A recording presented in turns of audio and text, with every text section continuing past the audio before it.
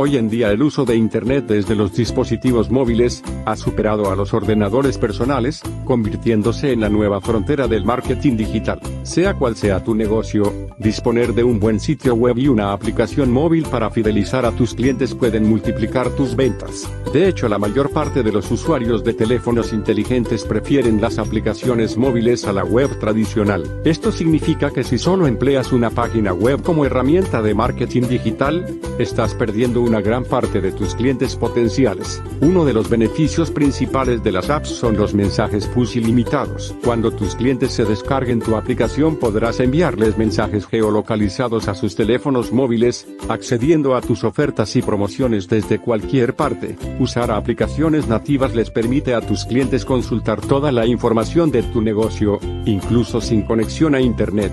Todo esto hará que incrementes tus ventas, mejores tu servicio y sobre todo la experiencia de tus usuarios. Básicamente las aplicaciones nativas pueden hacer todo lo que hace la web móvil y mucho más. Te ayudará a captar nuevos clientes potenciales y fidelizar a los que ya tienes, partiendo de las necesidades y funciones específicas de cada sector.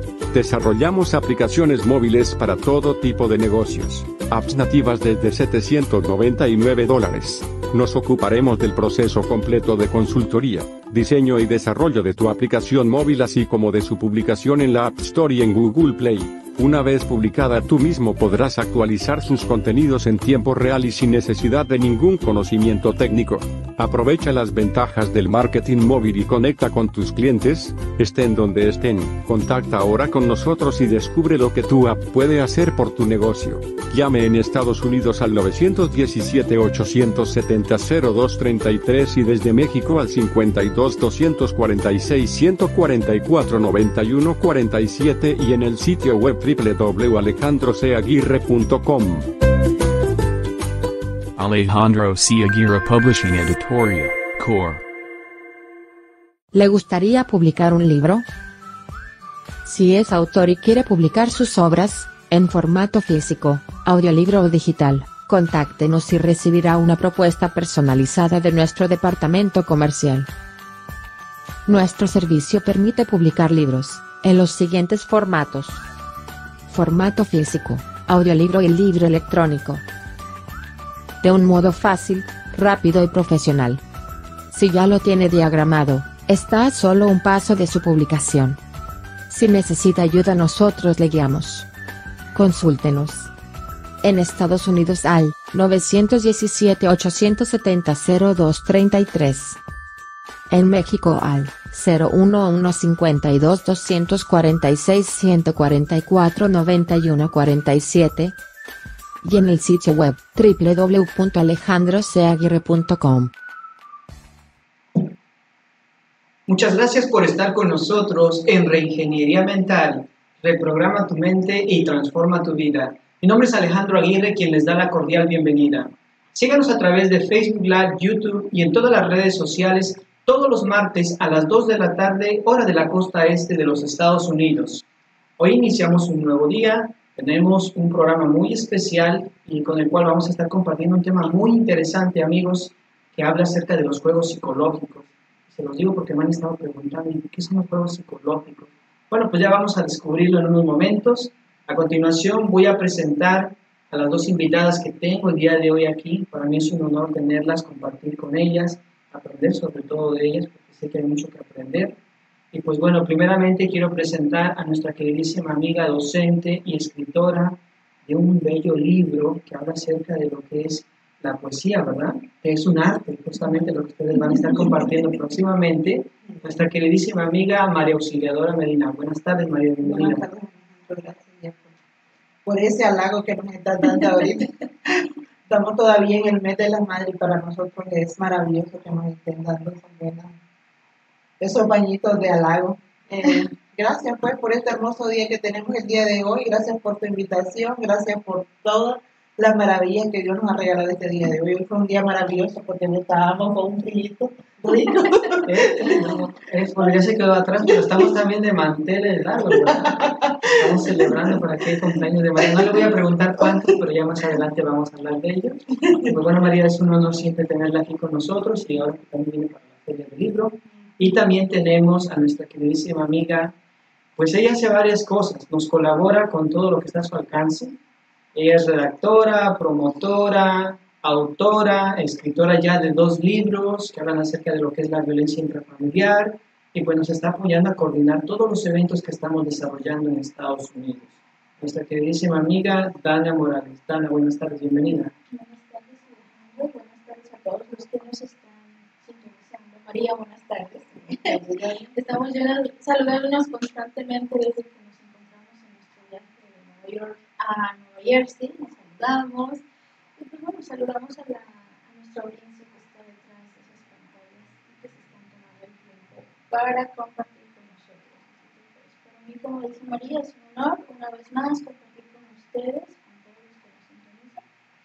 Pues por algo estamos aquí para compartir. Gracias, Alejandro. Gracias, María. Un programa más. Bueno, chicas, pues, pues agárrense entonces, pero también no podemos dejar a un lado a nuestro bello y queridísimo público, empezando por una invitada especial que tenemos aquí el día de hoy, aquí en el estudio, Jasmine, que es familiar de Dana, y que nos acompaña. Hoy es la segunda ocasión, ¿verdad? Que nos, nos acompaña y que está tomando nota de todo. ¿eh? Así que esperamos que en algún momento se decida también a compartir con ustedes, chicas, porque este programa es para eso. Y el de Entre Mujeres, obviamente, ¿verdad? Sí, va a ser un programa muy amplio. Esperamos su, su- ese público que esté bien activo para el martes. próximo martes. Va a ser algo muy bonito, algo muy, muy relajante, muy acogedor y que van a tomar, a tomar muchas notas de todo eso. Ya queremos aprender, estamos ansiosos de hacerlo. Van a haber muchas artistas aquí. Bueno, ya que estamos eh, compartiendo eso, también queremos agradecer a nuestro equipo técnico, quienes hacen posible esta transmisión en vivo. También recuerden que estamos en YouTube. Una vez que nosotros transmitimos, terminamos ya esta sesión, entonces lo pasamos a YouTube, esta grabación, la pasamos y ahí ustedes lo pueden sintonizar y obviamente queda grabada también en Facebook. Así que amigos, ya saben, gracias a todos ustedes y a todos nuestros autores, autoras, escritores, escritoras que nos han apoyado durante ya estos tres años. Estábamos haciendo un recuento con la editorial María. Más de 60 libros hemos publicado en tres años. Tres años ha sido una meta, un récord. De hecho, si dividimos los tres años, que son 36 meses entre 60, siempre hemos estado activos. Por mes mínimo un libro hemos venido publicando. Entonces, eso se lo debemos a nuestras editoras, a nuestros editores, ilustradores, programadores, todo el equipo editorial que está en Colombia, en Ecuador, en México y aquí en Estados Unidos. Gracias a ustedes por apoyarnos y pues imagínense, apenas tres años. Y ahora vamos con un proyecto más que ya está en puerta también y que esperamos tenerlo ya en los próximos meses listo. Así que el trabajo de equipo, el trabajo de equipo es lo mejor que uno puede hacer, porque uno puede ser muy inteligente, pero no llega tan lejos como uno con un equipo. Siempre es mejor trabajar en equipo. Definitivamente. Siempre dos o tres meses para trabajando. o sea, y ahí se crea la, la fase que habla de la mente maestra en el libro del doctor Hill, habla de la psiquis, cómo se relaciona en el lado espiritual, cuando nosotros nos conectamos, no solamente psicológicamente, sino también espiritualmente, el corazón con la mente. Energéticamente. Lo que estaba hablando hoy el doctor Moca aquí con el señor Torres en el programa Viva América, acerca de la medicina holística o alternativa, lo que estaban explicando, y bien interesante, ¿eh? no sé si vieron el programa, pero si no, lo pueden ver ahora en Facebook. Muy interesante todo lo que él dice, pero son cosas que a nosotros en algún momento ya nos atisbaron en un pensamiento, o ya nos, ya lo habíamos leído en un libro, una conferencia, lo habíamos escuchado, pero es tan simple y sencillo saber todo eso. Si nosotros, por ejemplo, como él decía, si nos quitamos los zapatos y hacemos ese contacto con la tierra, eso es una terapia.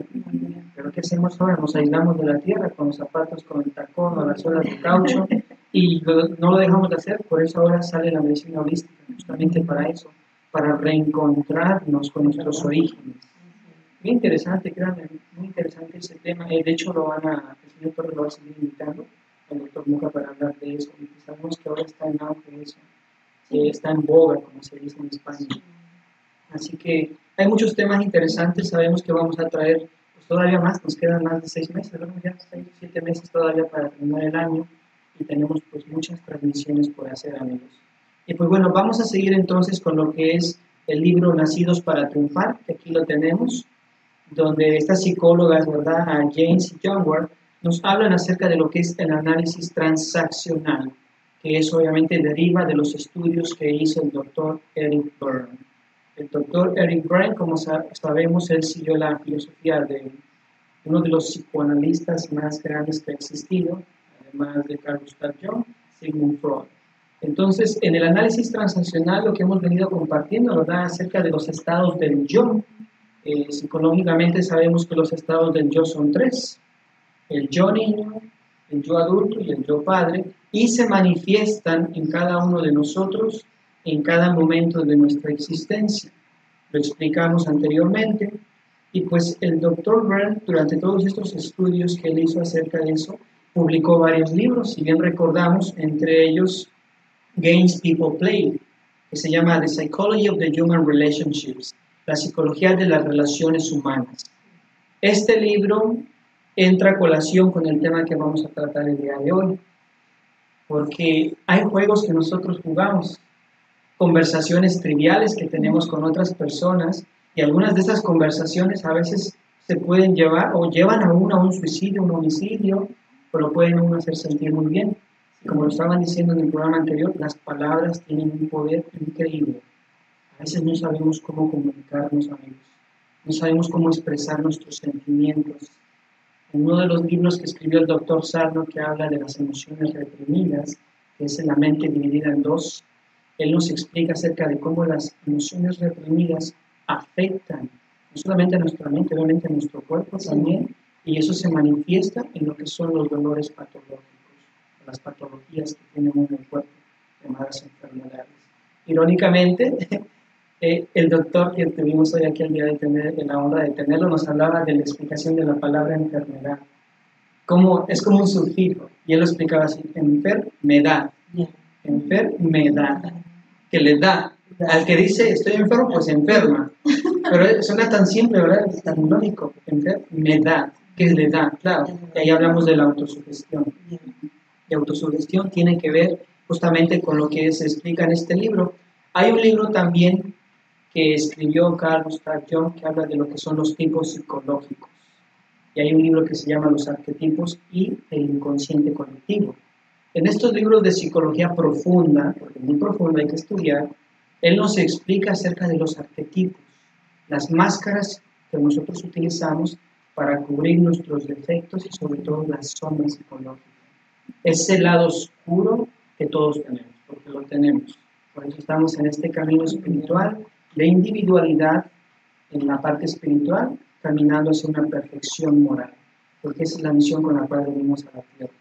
No le busque por otro lado, porque esa es la misión por la que estamos acá. El dinero, las riquezas son cosas banales y superfluas.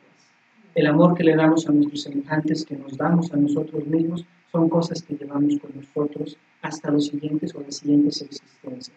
Porque crean o no crean, hay vida antes y después de la vida.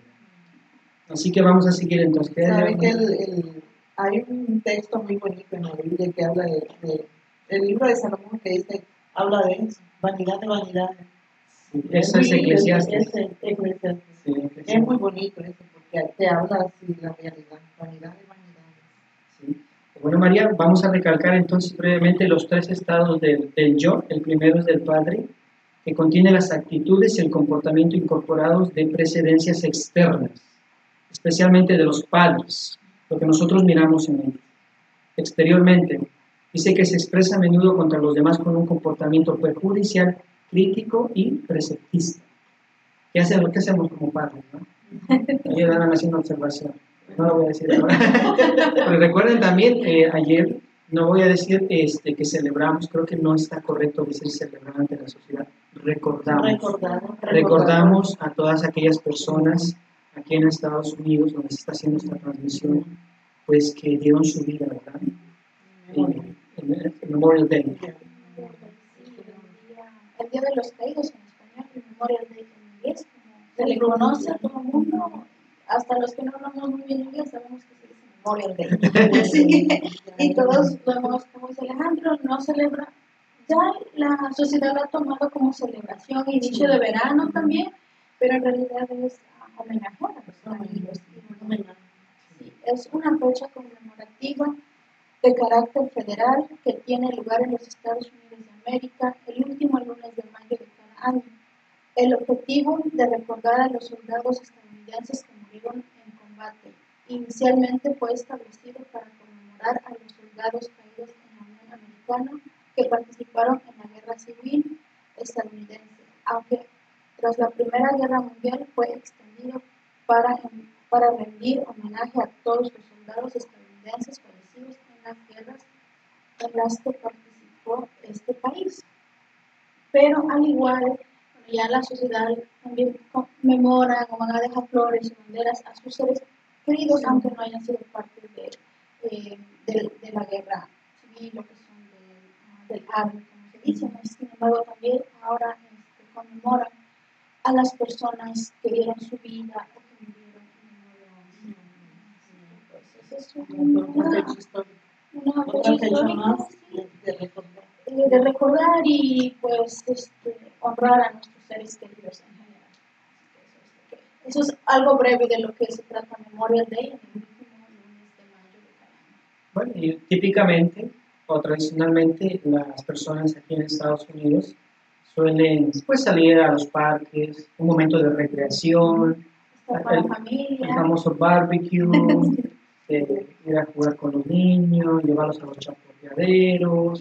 Es un momento para estar con la familia. Ha llegado y pues eso es muy bonito porque se precisa y más en este país que el ritmo de vida es muy acelerado y es una vida muy sedentaria. compartir un ratito, despegarnos de la rutina diaria. Y, y qué bueno de que en vez de, bueno, porque se dice que recordar a los difuntos como que es como triste, pero qué bueno que, que se transversó la, la cosa, en vez de estar triste se convierte, se convierte en alegría, porque tú dices que hay que estar con la familia, que ir a pasear, que ir a comer, es algo muy bonito porque más bien te llena de gozo, de alegría, ya. Lugares nuevos. Conocer lugares nuevos, personas nuevas y cada día pues va. Es muy bonito eso porque te trae buena energía, porque en vez de estar, me imagino que los familiares también este, se sienten alegres que llegue ese día. Bueno, pues, de recordar a a su... mí, me recordaron. que le recordaron? A ver.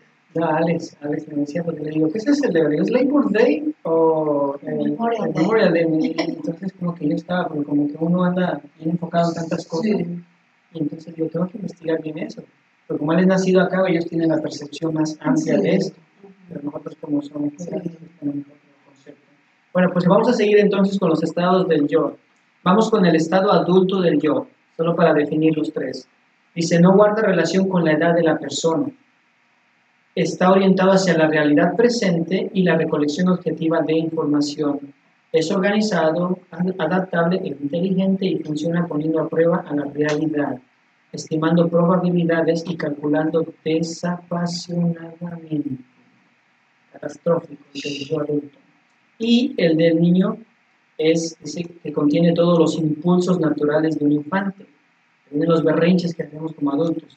Contiene también todas las grabaciones de sus primeras experiencias, de cómo respondió a ellas y de las posturas que asumió consigo mismo y con los demás. Se expresa como antiguo, es decir, arcaico, y obviamente es un comportamiento de la niñez y se sigue manifestando a través del desarrollo de nuestras etapas biológicas. Bueno, hablamos de las transacciones también, el análisis transaccional, eh, si recuerdan que hablamos de lo que son las, eh, las transacciones complementarias, las que se complementan, las cruzadas o las ulteriores. Ahora vamos a pasar a los juegos psicológicos. Para las personas que nos han seguido, saben que esto lo hemos venido explicando en los anteriores programas, que pueden encontrar en YouTube, amigos. Vayan a YouTube, busquen a Alejandro C. Aguirre y van a encontrar ahí ya los programas donde hemos venido hablando de este tema. Bueno, los juegos que la gente practica. Y esto nos lo dice este maravilloso libro Nacidos para Triunfar. Dice, los seres humanos practican juegos psicológicos parecidos al monopolio, al bridge o a las damas, que se juegan en las reuniones sociales. Cada jugador debe conocer el juego, en la eh, juego cómo ser partícipe sobre todo ver cuáles son las reglas que hay en el juego. Y todos tienen un comienzo y al final habrá ciertas recompensas. Obviamente que algunas partidas de póker tampoco se juegan por diversión. El doctor Eric Byrne definió un juego psicológico. Esta es la definición para todas las personas que les agradezco que me hayan preguntado qué es un juego psicológico. La definición del doctor Eric Byrne eh, de lo que es un juego psicológico es la siguiente. Dice que un juego psicológico es una serie de transacciones a menudo repetitivas, superficialmente racionales, con una motivación oculta, un mensaje, o un lenguaje llano, muy somero. Serie de transacciones con truco, como que hay algo que yo voy a hacer, pero estoy esperando algo, junto a algo. Dice, para que una transacción pueda ser definida como un juego, debe de haber tres elementos. ¿Quieres decirnos cuál es el primero, Ana, por favor? Una serie, una serie de transacciones complementarias en progreso que son razonables a nivel social. La la segunda es una transacción ulterior que es el mensaje implícito en el juego. Y la tercera, una recompensa pronosticable que acaba el juego y es el propósito real de que se juega. Perfecto. Entonces aquí el doctor Byrne nos explica, está en la página 8, María, la página número 8. Dice, aunque los juegos impiden las relaciones decentes, íntimas y sinceras entre los jugadores, estos los practican porque son un pasatiempo para ellos. Provocan atención, refuerzan opiniones anteriores sobre ellos mismos y sobre los demás y satisfacen un sentimiento del destino. Eso nos lo explica el doctor Byrne. Ahora, normalmente los juegos psicológicos se juegan para ganarlos, pero la persona que los practica como una forma de vida no es triunfadora, porque siempre está buscando tomar la ventaja de los demás. Y lo podemos ver con la manipulación. Hay mucha gente que es muy manipuladora y mucha gente Se les- deja manipular. se deja manipular. sí, ¿ya lo tiene ahí? Ok. En la ocho. Sí, ahora vamos a pasar para la 9. Dice, una persona actúa a veces como perdedor para ganar un juego. Actúa como un perdedor. Te vamos a explicar más adelante a dónde conlleva todo esto. Aquí les vamos a dar un breve ejemplo que nos explican estas dos ah, psicólogas en el libro Nacidos para Triunfar. El ejemplo es el siguiente. Dice, en un juego de dame una patada. Un jugador provoca a alguien para que le humille. Entonces aquí podemos ver el ejemplo. Eh, nosotros tenemos una figura que estamos aquí este, leyendo, donde habla del ejemplo eh, de que cómo se hace la transacción. En el momento que dice uno da una patada, entonces nos ponen el ejemplo de un estudiante y un profesor. Dice el estudiante, anoche me quedé tirado el juego de fútbol en, en la tele, perdón, en el juego del fútbol y no tengo mi tarea lista. O sea, se quedó viendo el juego de fútbol y no terminó la tarea. Terminó cinco. ¿Cuántos hombres pasa eso? Eso es una, eso es una transacción ulterior, donde él se está diciendo soy malo y dice dame una patada, porque no hice lo que tenía yo que hacer. Es un poco de psicología, ya lo vamos a entender. Y el profesor le dice, no, tienes suerte, hoy es el último día que puedo calificar esa tarea. Eso es una transacción ulterior, que son las que vimos al final, al principio, cuando explicamos eso. Dice, sí, eres malo y ahí te va tu patada. Entonces él está respondiendo. Entonces aquí podemos ver la transacción. La transacción se define así. Está hablando de lo que es el, en este caso el estudiante está hablando desde el yo niño y se está refiriendo al yo padre del maestro. Y el yo padre del, ma- del, del maestro se está refiriendo al yo del estudiante desde el yo niño. Son cosas interesantes, pero también el adulto del estudiante, el yo adulto, se está dirigiendo con él por la responsabilidad. Y él, obviamente, el maestro se está dirigiendo con su yo adulto con el alumno. Lean este libro, amigos, léanlo. No es porque lo quiera vender, ¿verdad? Mi intención no es esa. Pero es un libro de psicología que hay que comprenderlo y sobre todo aplicarlo porque nos ayuda mucho. Para los matemáticos como, como un- una um, ecuación de álgebra, algo así. Sí, y fíjese lo que dice acá, dice, aunque pueda negarlo, la persona que se habitúa a este juego tiende a atraer a otros que puedan jugar la mano complementaria y estén dispuestos a darle la patada. Ahí es cuando ya entramos de una conversación verbal que se transforma en algo trivial, eh, en algo físico, se transforma en algo físico. Y lo podemos ver, por ejemplo, aquí en Nueva York. A mí me ha tocado ver en el tren que empiezan con una discusión, que lo empujó, que lo tocó indebidamente o ciertas cosas, y empiezan a alterarse, empiezan a tener ciertos choques, pero tú no sabes cómo está esa persona, no conoces su personalidad, no sabes nada de ella, y por eso tenemos que cuidar lo que nosotros decimos, como lo dice don Miguel Ruiz en su libro de los cinco acuerdos. De, de decir una palabra, porque estaba estudiando esto anoche, también tiene que ver mucho nuestras, nuestros movimientos faciales, ¿no? No necesitamos hablar para expresar lo que, lo que sentimos o cómo nos estamos sintiendo, con un gesto lo estamos diciendo todo. Y para las personas que saben ver muy bien esto, nos damos cuenta de que las cosas de rollo no soy como que no le quedamos bien a una persona, pero como dice Alejandro, no estamos sabiendo qué es lo que tiene en pasado o qué es lo que le pasó horas antes de llegar al evento y, o lo que nosotros estamos viviendo que de una, expresión, Expresión. facial. Y ahí pues una postura psicológica, ya vamos a llegar allá, porque eso es a donde queremos llegar. Y, sí- y es cierto, los psicoanalistas trabajan de hecho en eso, y ven donde tú estás, tú puedes decir una cosa verbalmente, pero eh, en tu expresividad corporal es otra cosa. Aunque dice, todo juego tiene un primer movimiento, algunos primeros movimientos no son verbales, volver la patada, coquetear con los ojos, sacudir con un dedo acusador, la gente que señala, hay gente que no le gusta que señalen, de hecho, leer la correspondencia de alguien, en este caso podría ser también leer el teléfono de tu pareja, parecer melancólico abatido, no hablar, porque de hecho no hablar también es un, es un, digamos, un síntoma que representa muchas cosas, pero eso ya llega más a profundidad, porque ahí hablamos de la personalidad. Ya voy a hablar de flores de Tao. Dice, otros primeros movimientos son declaraciones verbales. ¿Cómo? Ahí, ahí- ahí entran tres puntos. Pareces tan triste estando solo por aquí. ¿Cómo puedes ir a la escuela vestida así? Yo tengo este terrible problema, etcétera. Entonces dice que los juegos tienden a ser repetitivos. La gente se sorprende diciendo las mismas palabras en forma idéntica, solo que el momento y el lugar son diferentes. Tal vez esta repetición contribuye a lo que describe con frecuencia cómo siento como yo hubiese hecho esto antes. Claro, ahí entra la parte, como yo les decía, la parte sugestiva, lo que decía el doctor Monca. Y eso, eso, miren, se relaciona con todo en la vida, todo. Por ejemplo, conozco a algunas cuantas personas que recurren a algún tipo de asesoría con nosotros y en confianza me dicen, "Mira, Alejandro, yo no tengo dinero. Y durante la conversación que tenemos de 60 minutos me dicen que no tienen dinero. Le digo, ¿sabes por qué no tienes dinero? Le digo, porque lo estás diciendo constantemente. Es la pobreza mental que todas las personas desafortunadamente siempre dicen, no tengo dinero, soy pobre, soy pobre, pero en realidad somos más ricos de lo que pensamos, porque no solamente es y ahí entra la ley la atracción. Soy pobre, no tengo dinero, no tengo dinero. Recuerden que trabajamos con la parte consciente y subconsciente. Trabajamos con dos partes. Y la subconsciente es la que recibe todo y lo deja, lo deja pasar.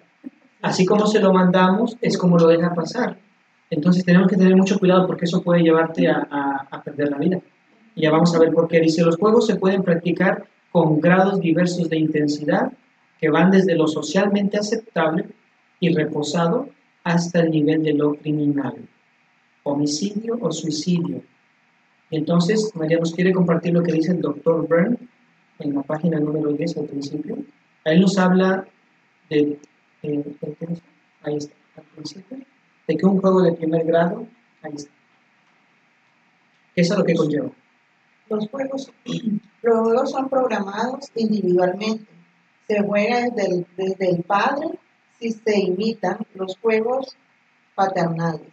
Desde el adulto si son conscientemente calculados o del niño si se basan en experiencias de la niñez temprana y en las decisiones o posturas que un niño adopta en relación consigo mismo y con los demás. Sí, perfecto. Pero antes de eso, hay un punto ahí. Fíjense lo que dice el doctor Eric Byrne. Dice, un juego de primer grado es socialmente aceptable en el círculo del sujeto. Esas, como se dice, juegan pesado. Ese llevan pesado y aguantan, ¿no? Pero a mí me tocó verlo, yo lo he visto, de hecho hace un par de semanas lo vi en el Bronx, eh, una pelea donde empezó así. Uno empezó a agarrar una rota y el otro no le gustó y le metió sus patepines. Eh, en la segunda parte nos dice que un juego de segundo grado es el que no causa daño permanente o irremediable, pero que los jugadores prefieren la fuerza de la vista del público. Eso es lo que yo presencié. tenemos que tener mucho cuidado con eso. Por eso voy a hablar de la personalidad en breve. Y el tercero, un juego de tercer grado, es el que se juega muy en serio y acaba en el hospital, en el juzgado, en el depósito de cadáveres. Ahí entra también lo que es la violencia doméstica. Porque no, no sobrellevamos eso. Ahora, antes de, de tener aquí algunos saluditos, voy a hablarles acerca de la personalidad. En el libro de Reingeniería Mental 3 hablamos de la personalidad, cómo se va desarrollando con los años, cómo todo lo que nosotros vemos desde pequeños en nuestros padres, María, nosotros lo vamos exteriorizando eh, con el paso del tiempo. De hecho, nuestra personalidad, ¿se acuerdan cuando empezamos a hablar de este libro? Hablamos de la, de la personalidad con los complejos que vamos desarrollando, que se fragmenta, que ahí es donde perdemos la identidad. Entonces viene la confusión y vienen otro tipo de cosas más profundas que nos hacen dejar de ser nosotros mismos. Porque queremos ser lo que no fuimos, lo que nos faltó, y entonces vemos muchas personas confusas en el mundo, buscando fuera a otras personas con quien identificarse, y ahí entra la parte que les estaba diciendo al principio, y ya vamos a ver otro ejemplo. Entonces, hay un libro, ya ella en paz descanse, ella es una gran escritora, escribió varios libros, eh, entre ellos uno que publicó en 1983, eh, Florence Tower, hay un libro que se llama Enriquezca su personalidad. hay personas que tienen una personalidad, digámoslo así, no tan sana, pero muy baja, porque tienen una autoestima tremendamente baja. En este libro de Enriquezca su personalidad, ella nos habla acerca de cómo nosotros nos podemos ir identificando con las personalidades que uno puede desarrollar. Ella nos habla de cuatro. Eh, la primera son los coléricos, los segundos son los melancólicos, los terceros los sanguíneos y los cuartos los flemáticos. Entonces, ella nos explica en este libro, que vamos a tratar un programa de ella, lo tengo pendiente desde hace un mes, cómo ella pone algunos ejemplos y cómo nosotros podemos desarrollar eso, porque cada una de estas personalidades, digamos así, eh, que uno puede desarrollar, porque puede tener varias a la vez, definen el comportamiento, la conducta de uno como ser humano. Entonces, por ejemplo, solo para mencionar una, aquí nos habla de los coléricos. Dice que, que aquí nos da algunos ejemplos de líderes y comandantes siendo dominantes, fuertes, decisivos y en ocasiones arrogantes. Dice que tienden a ser buenos líderes porque están obligados a hacer las cosas, sin embargo pueden ofender a algunas personas en el camino. Dice que los coléricos también se les conoce con el tipo de potente. Algunos ejemplos aquí nos dan, no los voy a decir ahora, vamos a hablar para el otro programa, pero ese es un ejemplo para que tengamos una idea. Ahora, ella escribió muchos libros también que hablan de la personalidad, entre ellos Your Personality Tree, el árbol de tu personalidad, ese fue escrito en 1986, está en inglés. The Best of Florence Tower en el 89, eh, en, uh, Dare to Dream en el 91, Personality Plus for Parents es para los papás, Understanding What Makes Your Child Tick 2000. Ella falleció ya hace un par de años atrás. Entonces, nuestra personalidad obviamente define nuestra conducta, ¿verdad? Cómo nosotros nos vamos desarrollando, cómo nos vamos criando. Y pues vamos a pasar los días decisivos, pero vamos a ver aquí las muchachas qué saludos nos tienen. Sí, tenemos a nuestra querida María Magdalena Márquez. Qué contentos están. Saludos, saludos. Preciosa, muchas gracias por sintonizarnos. Nelson Cruz, saludos desde la República Dominicana. Y él nos deja un mensaje. Creo que el mejor libro de John es el libro rojo. Eh, hace, hace preguntas muy personales, como ustedes dan talleres o cursos, de, cursos en Imagen sí, solamente contáctenos por las redes sociales o los números telefónicos que van a escuchar en breve y con gusto le damos eh, una información más amplia. Nelson Cruz, por favor, responda sus preguntas. Creo que ya le respondimos y le vamos a seguir respondiendo adelante, como dije una vez más. Los números de teléfono van a aparecer o los vamos a decir más adelante. Y va, este, estamos aquí, al igual que nos pueden contactar por todas las redes sociales.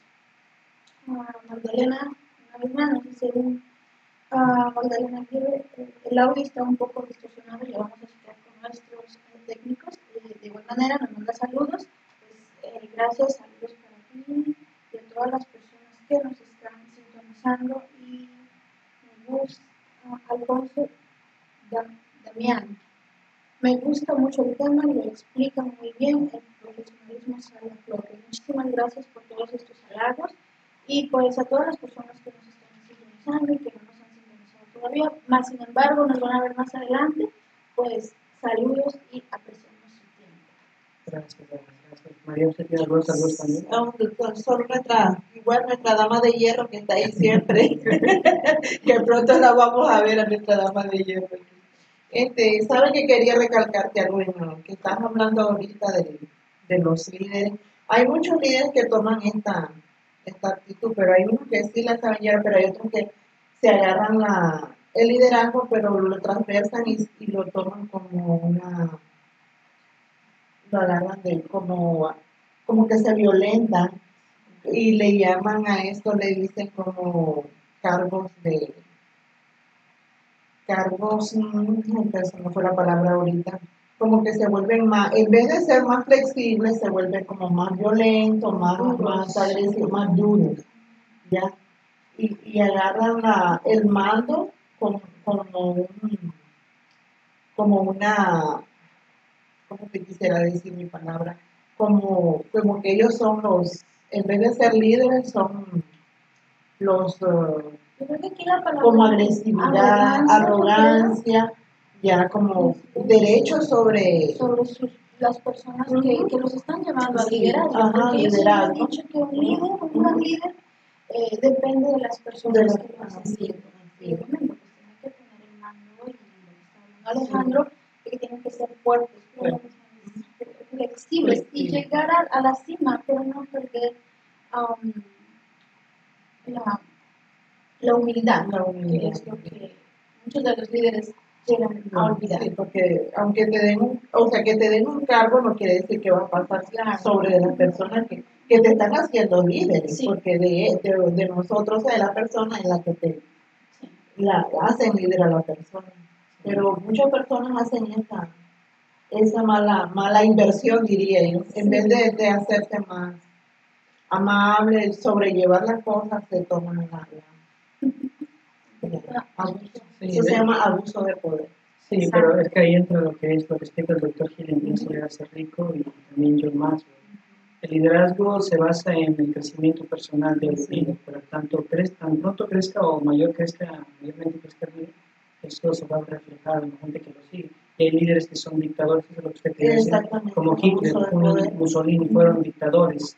Eh, este, pero si lo vemos por el otro lado, un ejemplo Gandhi, y fue muy humanista. Entonces ahí entra la contrapartida. Pero bueno, lo importante de todo esto eh, es que todo esto tiene que ver con las posturas psicológicas que ya vamos a ver cuáles son, que nos explica el doctor Wright. Gracias María por esa aportación. Dice que antes de cumplir los ocho años de edad, el niño desarrolla un concepto lo- a- acerca de su propio valor. Eso es bien importante, a los ocho años. Así como también formula ideas sobre el valor de los demás. Cristaliza sus ideas y decide lo que significan para él, qué roles va a representar y cómo los va a representar. Esos son sus días decisivos. Atención padres, a los ocho años el niño empieza a darse valor a sí mismo y a la gente que lo rodea. Es bien importante, eh, eh, en ese caso a los ocho años. Dice, cuando las decisiones sobre uno mismo y sobre los demás se hacen muy pronto en la vida, pueden ser irreales. Algunos maduran rápido, pero algunos no, viven en un mundo ficticio. Es muy probable que sean algo distorsionadas e irracionales, ya que los niños perciben la vida a través de la pequeña mirilla de sus existencias. A veces como padres creemos que miran las cosas igual que nosotros, pero las miran en un panorama totalmente diferente. Esas distorsiones pueden crear cierto grado de patología que irá a lo, de lo intrascendente a lo grave. Sin embargo, las decisiones parecen lógicas y tienen sentido para el niño cuando la adopta, cuando las adopta. Un caso ilustrativo, ponga mucha atención. Fue por eso que decidimos traer este tema aquí a compartirlo con ustedes. Extraído del libro Nacidos para triunfar. El caso ilustrativo es el siguiente, amigos. Dice, mi padre era un alcohólico brutal. Cuando se emborrachaba me golpeaba y me gritaba. Yo entraba a esconderme. Un día, al llegar a casa, se abrió violentamente la puerta y vi que estaba más borracho que de costumbre. Tomó un cuchillo de carnicero y empezó a correr por toda la casa. Me escondí en un armario. Tenía ya casi cuatro años y tenía tanto miedo en el armario. Estaba tan oscuro y horripilante y algunas cosas no hacían más que golpearme en la cara. Ese día llegué a la conclusión de que los hombres son bestias solamente, querrían hacerme daño. Yo era una niña muy crecida y recuerdo haber pensado, si yo fuese más pequeña, ¿me querría mi padre? O si fuese más bonita, él me querría. Y siempre pensaba que yo no valía nada.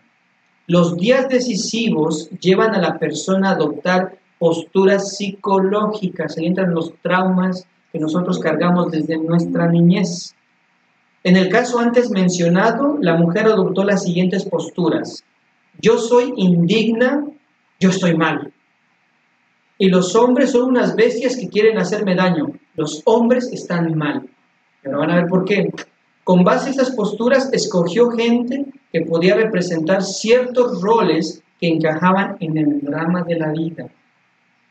Se casó con una bestia, que además era alcohólico, ahí está. Ahora entienden por qué, por qué se pegan unos con otros y tenemos muchos casos. En las reuniones sociales con frecuencia ella jugaba a la violación.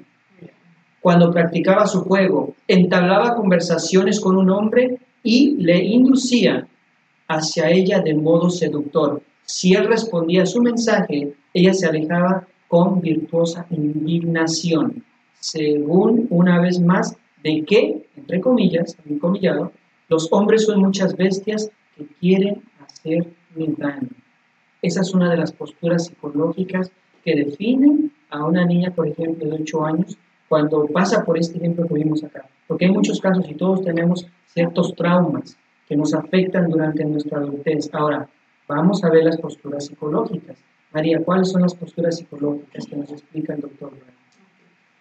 Yo soy inteligente, soy estúpido, soy poderoso, soy inadecuado, soy agradable, soy desagradable, soy un ángel, soy un diablo. No puedo hacer nada mal, no puedo hacer nada bien. Soy tan bueno como cualquier otra persona, no, mere no merezco vivir. ¿Se ve cómo se, se contraponen? Se contraponen. Dicen una cosa y luego viene lo contrario. Ahora tenemos cuando los individuos adaptan posturas sobre los demás, pueden concluir. Con la gente me dará todo lo que yo quiera, nadie me dará nada. La gente es estupenda, la gente no es buena. Alguien me ayudará, la gente se quiere aprovechar de mí. Le gusto a todo el mundo, no le gusta a nadie. La gente es agradable, todo el mundo ahí entra lo que decían eh, en algunos momentos que uno es voluble, ¿no? De momento estás bien, de momento estás mal. Y es, eso, es un juego psicológico. Tú estás viendo a las personas de acuerdo también, hablando un poquito egoístamente, qué es lo que tú quieres. Por eso la persona que juega estos juegos o que los practica no está bien, porque quiere ser un triunfador, como dice en el libro de Nacidos para Triunfar, pero está siendo un perdedor, porque está viendo el bien para sí mismo, pero no para los demás. Ahora, en general, las posturas procedentes son yo estoy bien o yo estoy mal.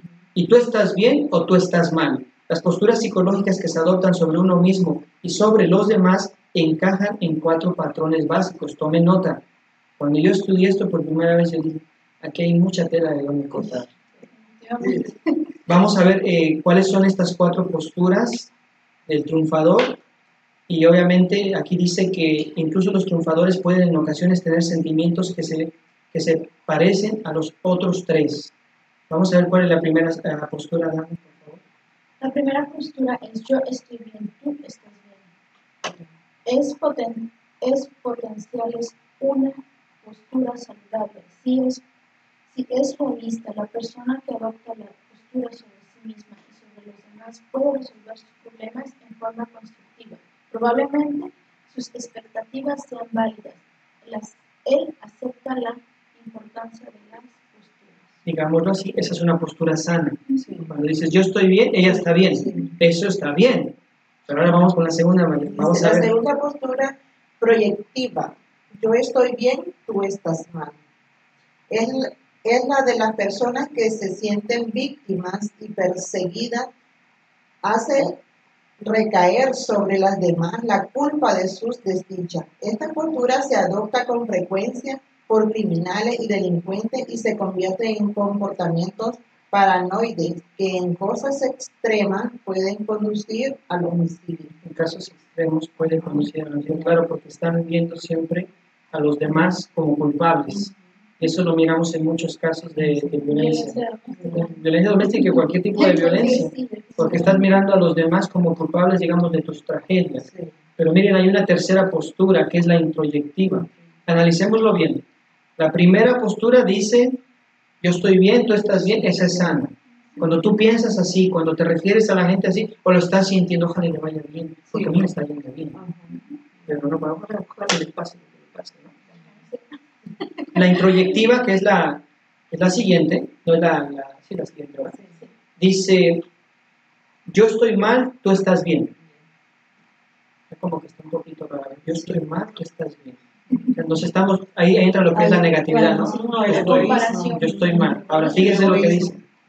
Es una postura común en las personas que se sienten impotentes al compararse con otras. Ahí entra un grado de inferioridad por una personalidad no es suficientemente sólida. Y obviamente eso tiene que ver con los complejos.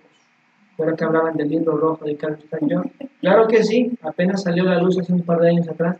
Y amigos, lean, lean, no crean, es un libro que hay que estudiar también.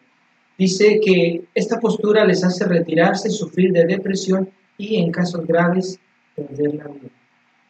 No es un juego, por eso les digo, esto es bien interesante, la postura introyectiva. Yo estoy mal, tú estás bien, pero vamos con la cuarta, ¿no? La cuarta postura, inutilidad. Yo estoy mal, tú estás mal. Es la postura de quienes pierden interés en seguir viviendo, cuyo, importa, cuyo comportamiento es esquiz, esquizoide, Esquizoide. esquizoide y en casos extremos cometen suicidio o. Ya estás hablando de casos extremadamente extremos. De personas que por la falta de valoración, porque se infravaloran, por todo lo que vivieron, viven reprimidos, viven infelices, viven insatisfechos por esa y otras, son, miles de razones, por eso es importante leer. Leanse este libro que les acabo de recomendar, que fue editado, Cómo desarrollar una personalidad sana, para que identifiquemos cuál de esas cuatro grados, digamos, de personalidad nosotros tenemos, o cuál es el que domina más, el colérico. Eh, Eso es importante que nosotros lo sepamos. Ahora, la persona que adopta la primera postura siente, no dice, siente, vale la pena vivir la vida. Hay amigos que nos están mirando, levanten la mano, ¿quién de ustedes dice vale la pena vivir la vida? Ahora, con la segunda postura, tu vida apenas tiene valor. Como que hay una lleva.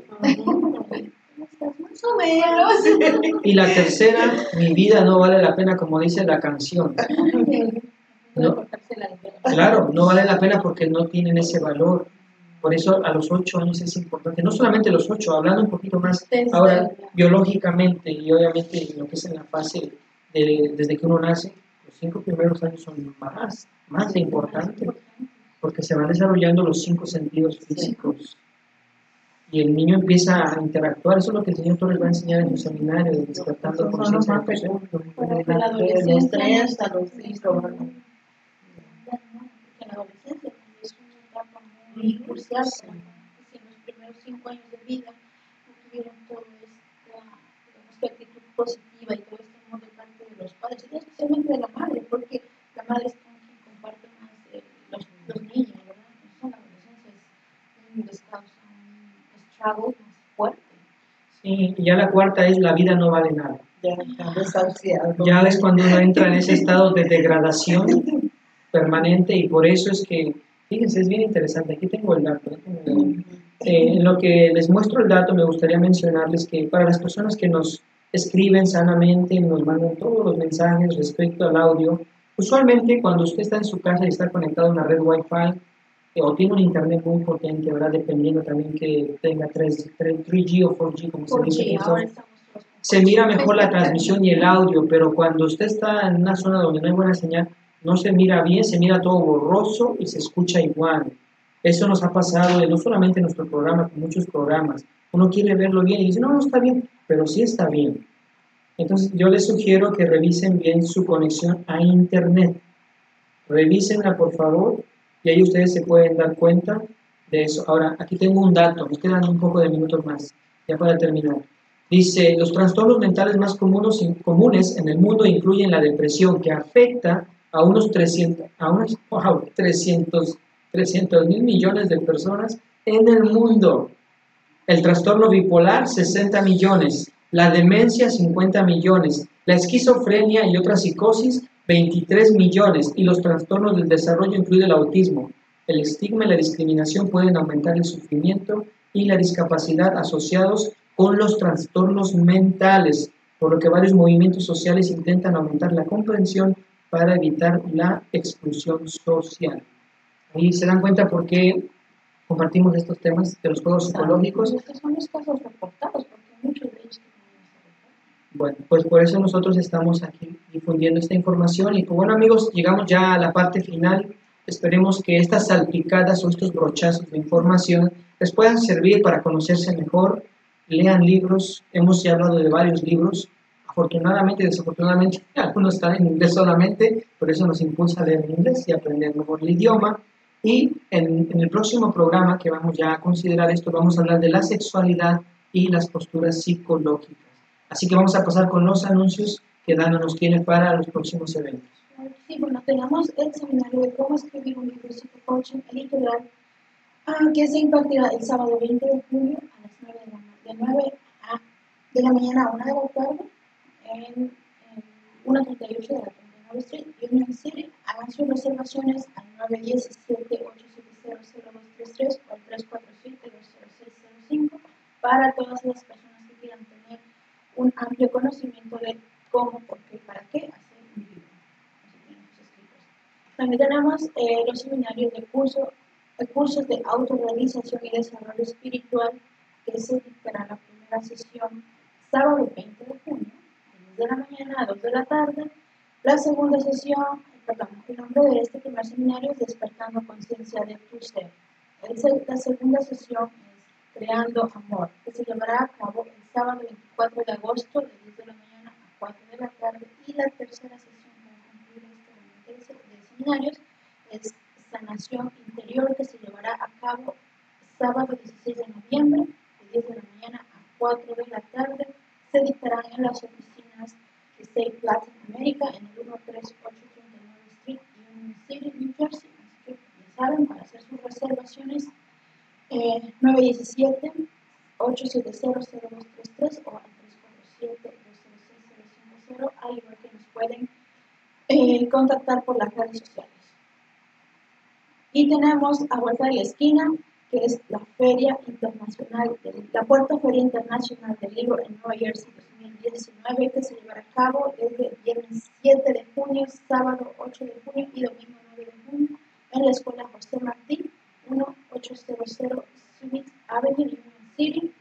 Y en este magno evento vamos a tener la conferencia Empodera tu vida, eh, cómo ser mejor cada día y se llevará a cabo el domingo 9 de junio a las, a las 12 del mediodía con nuestras autoras, escritoras, conferencistas y entrenadoras de vida que vienen fuera de la zona del área estatal, como es María Magdalena Márquez, autora del libro La Dama de Hierro y Cómo lo logré, desde Chicago. Janet Hernández, autora del libro Fortaleza Inquebrantable, que viene también desde Chicago. Y tenemos a nuestra querida autora del libro Desde tu despertar, Ceci Hernández, que viene desde Denver. Y Elizabeth Meraz, autora del libro Alma Valiente, que ambas nos acompañan desde Denver. Um, obviamente estaremos con el equipo que siempre nos está apoyando y como ya lo han comentado, si el equipo se logra y se hace la fuerza, entonces vamos a estar con nuestra querida María Auxiliadora Medina, que siempre nos colabora, autora, escritora y docente. También tenemos a Marisol Hernández, autora y promotora editorial. Teresa Tlapa, autora del libro Luz de Esperanza, quien también nos colabora en este equipo. Y pues desde luego su servidora, Dana Morales, quien nos está apoyando en lo que está al alcance de las manos. Que, y, la, y nos vamos de gira Denver 2019 que se llevará a cabo el 3, del 13 al 17 de junio.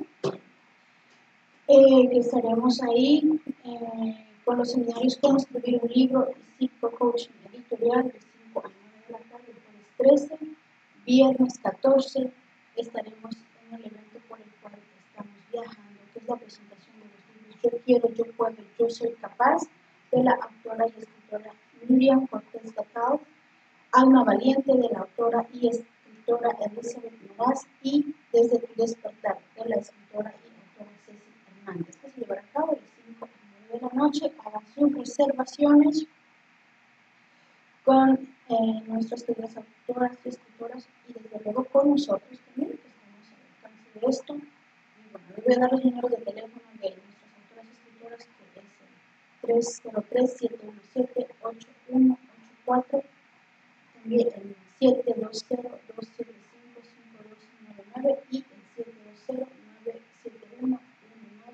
720-971-1916. Que ya saben, por favor, hagan sus agendas, que esto es en. El sábado 15 tenemos el taller Empoderar tu Vida, mismo en Denver, que se llevará a cabo de 1 de la tarde a 5 de la tarde. Hagan reservaciones 347-266-0550, con gusto se les atenderá. Tenemos la tercera gira inspiracional Chicago 2019, que se llevará a cabo del 18 al 23 de septiembre con una serie de eventos en lista. Se les dejará saber a medida que estemos cerca de estos- estas fechas. La segunda gira inspiracional Miami 2019, que se llevará a cabo una serie de eventos en Miami. Estaremos participando en, en la que tenemos en proceso, y igual se les dejará saber a medida que estemos cerca de estas fechas. La segunda gira inspiracional Los Ángeles, California 2019, que se llevará a cabo del 14 al 18 de noviembre con una serie de eventos. General ir trabajando en ello para dejarles saber y darles mejor mm, asesoría de esto. Y la tercera gira inspiracional Los Ángeles, California 2020, que se llevará a cabo del 5 al 9 de marzo con una serie de eventos y colaborando con nuestras mujeres guerreras por allá, celebrando o conmemorando el Día de la Mujer. Bueno, acerca de la editorial, Alejandro Seguido, ya saben que si tienen una idea, que quieren tomar una receta de libros o solamente compartir, o no solamente más nada, compartir su historia personal y empoderar a más personas, compartir su historia de vida, pues pueden contactarse directamente con el señor Alejandro, Alejandro Aguirre o a www.alejandroseguirre.com. Eh, números telefónicos es el 917-870-0233 o el 347-2305 para darles una amplia información. Acompáñanos el próximo, um, el próximo 4 de junio a las 2 de la tarde en este mismo nuestro ah, programa, en este mismo horario, en nuestro programa Entre Mujeres, que tenemos un tema bien bonito para compartir con, todo- con todas las mujeres, hombres, para que nos apoyen y apoyarnos en sí. María, ¿a usted le gustaría el nombre del programa? Le invito a que ella nos diga para que así compartamos más. Pues, no, pues vamos a hablar lo que es de arte. Ya sabemos que el arte es una ciencia de donde se derivan muchas, muchas actividades. Y vamos a hablar un poquito y a, a ver si podemos traer un poquito de, de nuestro arte, de lo que nosotros, de lo que nos nace a nosotros, de lo que nos ha dotado, ¿verdad? Lo que es el arte, pues ahí vamos a ver, vamos a dejar de incógnita para el próximo, para el próximo saben. martes. Bueno. esperamos que nos acompañen para ver cómo una mujer se empodera por medio de su arte. Para más detalles, no se les olvide, acompáñenos el próximo martes 4 de junio, de 2 de la tarde a 3, en Facebook Live, YouTube y todas las redes. Bueno amigos, pues llegamos a la parte final de este programa. No nos despedimos, decimos hasta la próxima. Regresamos en junio, la segunda semana después de estar en Denver compartiendo ya, Dana dijo que vamos a hacer. Así que prepárense en Denver, vamos a estar de visita y luego para Chicago, primero Dios, vamos a estar también allá. Eh, María, gracias por acompañarnos una vez en el programa, que les vaya muy bien en el próximo martes, Dana también, en su programa. Y no poquitas cosas, tráiganse muchitas. Muchitas, muchitas, traigan más para compartir con toda la gente, para que vean la cultura, las tradiciones, lo que ustedes están haciendo, el folclore, la gastronomía, algo también para comer. Sugerencias. Poquitas, perdón Alejandro, digamos poquitas porque el arte, el, el folclore es un ramillete de cosas. es solamente una parte. Para compartir todo eso es como compartir lo que acabamos de compartir, fue una parte, hay mucha tela que cortar y mucho que compartir. Sí, mucho que aprender. Pues amigos y amigas, gracias a cada uno de ustedes, a todas las personas que nos hicieron el favor de escribirnos. Consideramos sus mensajes de manera profesional. Si están interesados en contactarnos, solamente llamen y contáctenos en la página web que está en el sistema en este momento. No nos despedimos, les decimos hasta pronto y que Dios los bendiga. Y si hay personas que quieran compartir algo de su app, pues. Hoy en día el uso de Internet desde los dispositivos móviles ha superado a los ordenadores personales, convirtiéndose en la nueva frontera del marketing digital. Sea cual sea tu negocio, disponer de un buen sitio web y una aplicación móvil para fidelizar a tus clientes pueden multiplicar tus ventas. De hecho, la mayor parte de los usuarios de teléfonos inteligentes prefieren las aplicaciones móviles a la web tradicional. Esto significa que si solo empleas una página web como herramienta de marketing digital, estás perdiendo una gran parte de tus clientes potenciales. Uno de los beneficios principales de las apps son los mensajes push ilimitados. Cuando tus clientes se descarguen tu aplicación podrás enviarles mensajes geolocalizados a sus teléfonos móviles, accediendo a tus ofertas y promociones desde cualquier parte. Usar aplicaciones nativas les permite a tus clientes consultar toda la información de tu negocio, incluso sin conexión a Internet. Todo esto hará que incrementes tus ventas, mejores tu servicio y sobre todo la experiencia de tus usuarios. Básicamente las aplicaciones nativas pueden hacer todo lo que hace la web móvil y mucho más. Te ayudará a captar nuevos clientes potenciales y fidelizar a los que ya tienes, partiendo de las necesidades y funciones específicas de cada sector. Desarrollamos aplicaciones móviles Alejandro C. Aguirre Publishing Editorial, Core.